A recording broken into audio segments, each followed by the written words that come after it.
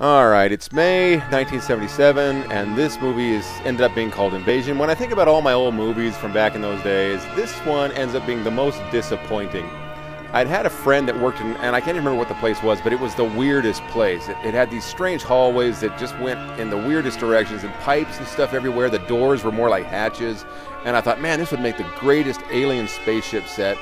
And so I'd asked if we could shoot a movie in there, and they said yeah. And so I came in and I studied the place out, and I wrote this script uh, all about this weird alien spaceship that can create weird phantoms, and it had people from Earth ending up on it, and it was what I thought was pretty cool.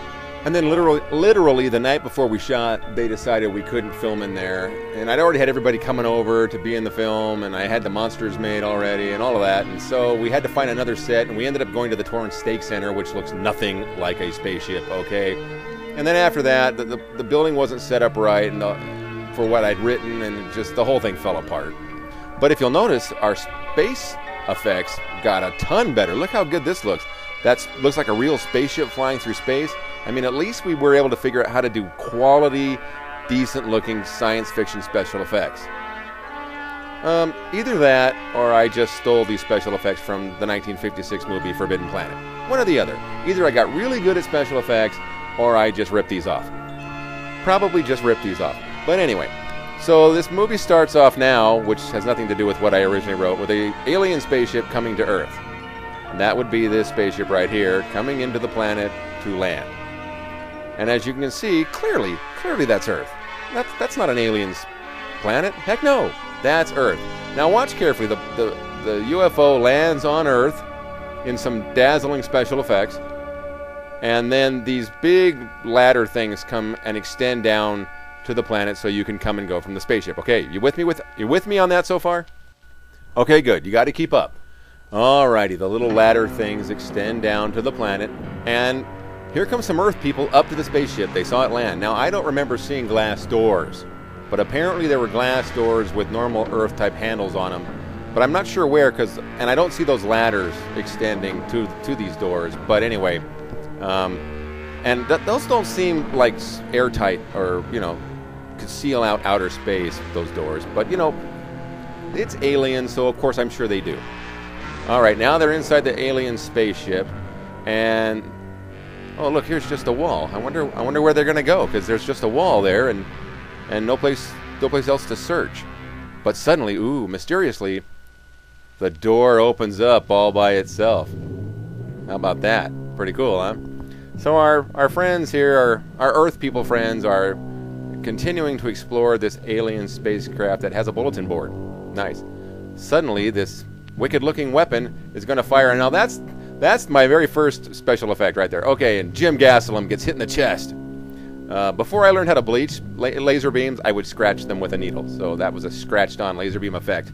And all of us realized that our friend Jim is dead, basically so he can play aliens the rest of the movie. Now, for some reason, I just go off by myself in an alien spacecraft that, you know, is completely unknown to me and just start searching around by myself. Why I would do that is unclear. Because you know in a movie, if you go off by yourself, things like that are going to appear and beat the crap out of you, just like that. Now that's Scott Moberly playing some kind of an Ant-Man monster. And again, I'm watching my head hit the ground. Bam! That hurt right there. But anyway, apparently all of our monsters wear sweatshirts and pants. My original script had a re- had an explanation for that, but because this movie is not making any sense, no. That's Jana Berry She's feeling bad because I'm dead. Also in there's Keith Pally. That's Keith Pally's whose butt we're looking at right now. And they're pulling Jana Berry away from me, who's sad that I'm dead. Apparently no one else is. There's Scott Moberly and Sue Rector's in there. Andrea Piotrowski's in there. And they just go off and leave me dead. But look, Jana is the only one that feels bad that I'm dead. Everyone else, yeah, let's just move on. Forget him. And now we're going to walk all the way into this room. Here's some bad editing. They're going to walk all the way into the room, and then suddenly they're still outside the room, but they see something that scares them, and there's Jim Gastelum with a really bad paper mache monster mask on. And then over here is my little brother, Neil, with another really bad paper mache monster mask. And thankfully, this is the last movie with any paper mache monster mask.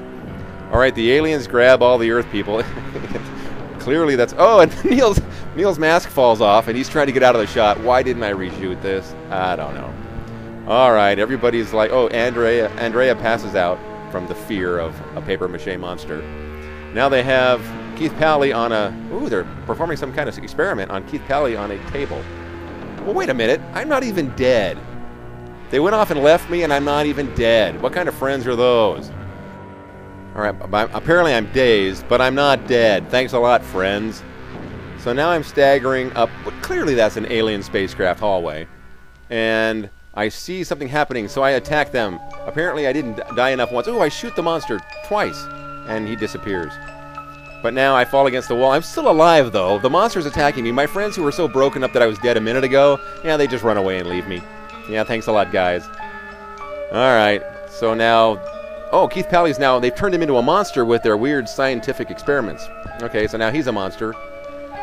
And suddenly, we're just up in Malaga Cove on the bridle path. I don't know how we got there, but that's where we are. Okay, and one of the monster masks was lying there on the road. We didn't think to clear that out of the way. Nice. And now, suddenly, Edwin Gurr is playing the monster that my brother was before, and they're bringing Jim Gastelum back right about now. See? And Jim's in charge, so he's going to tell him, let's go this way. Oh, okay, you're going this way, so we'll go that way instead. Good idea. And this is, okay, now back to the first day, because we shot this on two different days.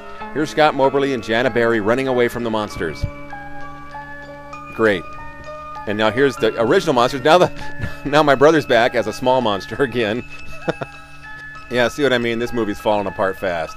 All right, Jana Barry and Scott Moberly are hiding down in this ditch as the monster's just above them. So they're hiding. Hopefully he won't see them. But then Scott gets an incredibly bright idea. Any moment now. Okay, Scott, get that bright idea. Okay, we'll keep watching the monster. Okay, he's got some rocks. He's going to make noise somewhere else and draw the monster off. Good thinking. So he's throwing the rocks, and it does. It works. The monster's drawn off. But now it's the new day, and Scott couldn't be there anymore, so now I'm playing Scott. And Jana couldn't be there at all, so we have to figure out we, what to do with her. So we're just going to kill her. We're just going to kill Jana. Our, our friend Jana, we're just going to shoot her with a laser beam right here, and two different laser beams apparently, and now she's dead. And now here's A. David Walker, who I, I forget how I know this guy, but anyway, he's just some guy playing on the rope swing there on the bridle path. But here comes Jim Gastelum as the monster. And okay, he's still playing on the rope swing, and I'm, I'm pointing. Look, monster! Now he believes me that there's a monster, and now we're running which happens a lot in these movies. And here comes Jim Gastelum doing everything he can not to fall down. Well done. Meanwhile, A. David Walker is trying to get away from the monsters, but this is the second day, so now Edwin Gurr is back playing the monster that my brother was playing before, so he's gained about three feet in height. Now I'm trying to get away from Jim, who's the other monster. I make it right up this steep hill, but watch the monster, who you'd think would be, you know, he's a monster. He should be able to get up these kinds of things, but apparently not. Now he's going to fall right there and break the handle or break the barrel off the gun. Let's test that thing, make sure it still works. Boy, alien technology. That stuff works really well. All right, now they're torturing A. David Walker with their special little box that the red monster sweatshirt guys. Oh, but A. David Walker gets away from and smashes it. That makes them have problems for some reason, and oh, they disappear in a flash of light. And in case you haven't figured it out, by this point we've completely thrown away my original script and we're just kind of making this up as we go because by this point, this movie's gone in a completely off the wall direction that had nothing to do with my original script. So, we have to finish off the amount of film we have left, so we're just going to have a big chase scene, which was very common in my movies back then. So, I'm trying to get away from Jim Gastelum, this big, tall, yellow headed monster with a broken gun, who has a hard time seeing where he's going. And here's A. David Walker trying to figure out where I'm at. I'm trying to get away from the monster. I'm going to try to get down this hill. Ooh, slips and falls, but I'm trying to get down this steep hill right here, which we used in some other movies that I have not digitized yet. Anyway, I'm going to fall, catch the tree. Nice save, Randy. Good job. Okay, the monster is still trying to chase me. He has a much harder time seeing through the mask, so he's not looking nearly as good as I do.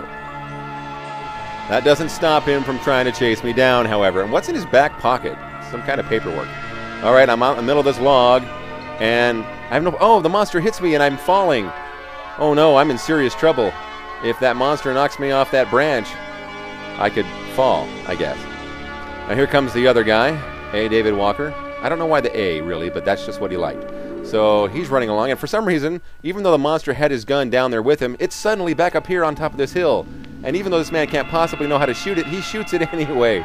And while the monster's trying to kill me, the guy who's never shot that gun before hits him and destroys him and saves me from an alien invasion movie that is so god awful, it's hard to watch. But right on, dude. Thanks for saving me.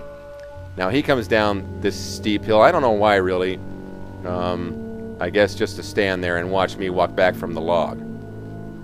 That's right, terrible movie, and so much less than what I'd originally written. But you know, hey, at least the good guys prevailed and the aliens were vanquished from Earth. And there's your hero, apparently posing. But here comes Jim Gastelum. Say hi, Jim. Good to see you. And this movie's so bad, even the aliens are pissed off at me. Alright, that movie could have been really cool, but guess what? It wasn't.